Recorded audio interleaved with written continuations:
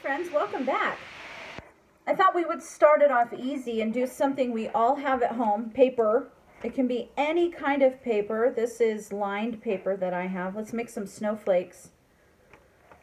Um, you can use newspaper, old magazines, mailers, leftover wrapping paper, tissue paper. You can use anything. So I'm going to use this that I have. Two-sided. Oh, just for fun. Why not?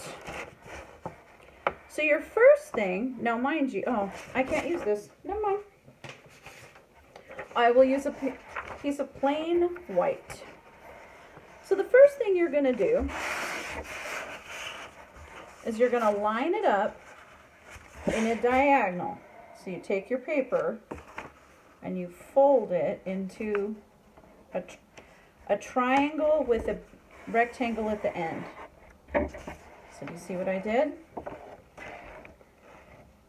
Okay. Then you take your triangle part and you fold it in half again. Just like this. You have kind of a funny little house. Then you take your scissors and you cut this rectangle off. You can use it later to make mini snowflakes if you'd like, but, or you can just throw it away or use it for something else. Then you fold your triangle one more time. So you have a line. Okay? So you have this kind of triangle. Now open it back up. Then you're going to take your paper and you're going to fold it just over the middle. Like that. Okay? Just over the middle. Cool? Then you're going to take the other side, the whole thing, you're going to match it up.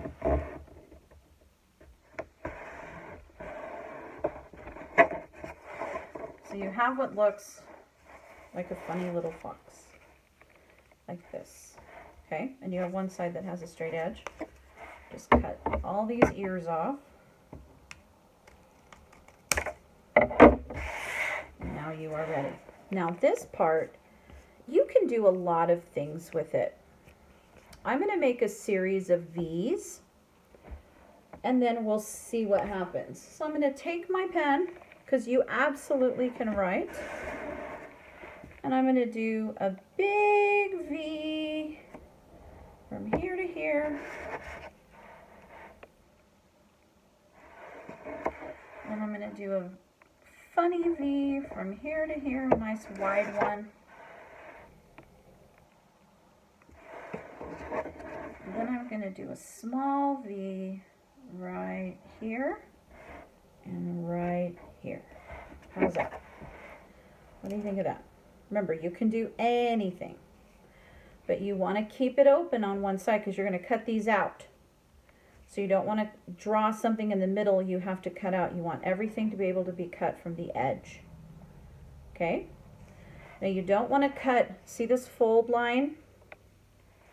You don't want to cut it all off because this is what will hold your snowflake together. Okay. Oh, my pen. Now I'm going to take my scissors and I'm going to cut my V's.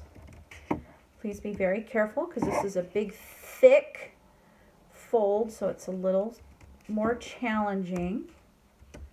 Does it have to be perfect? Nope. Why? Because it's just fun.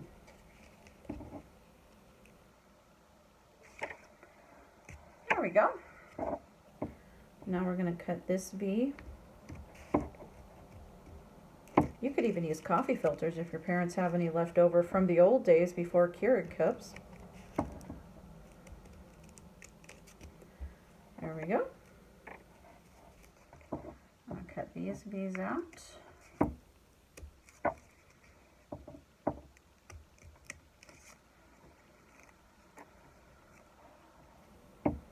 And this one, I'm being very careful because I'm not wanting to cut this edge right here because this is what will hold it together.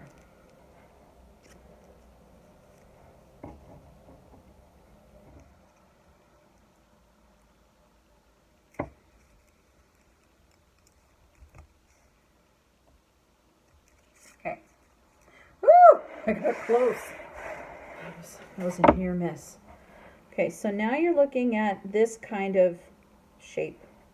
It's just weird, and that's okay. So now let's open it. Open it very carefully, because remember your paper is very thin now, right? So we're opening it very carefully. Very carefully.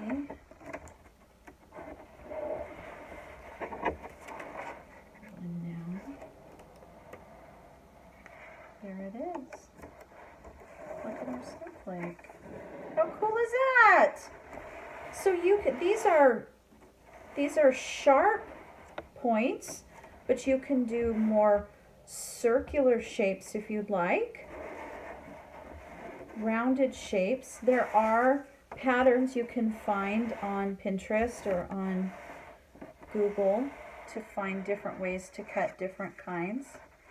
But look at that, it's our snowflake.